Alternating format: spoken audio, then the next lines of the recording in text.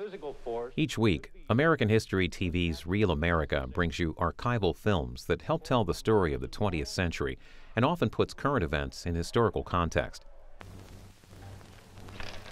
Hello, boys and girls. I have a special message for you from the President of the United States.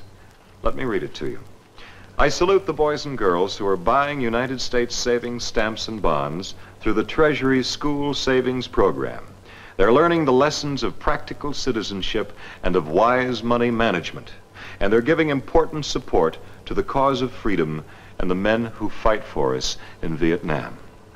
That message is on this wallet-size U.S. Savings Bonds pledge card, which you'll get in school as soon as you begin to buy U.S. savings stamps.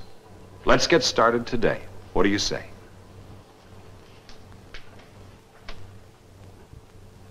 View this and all other American History TV programs at cspan.org/history.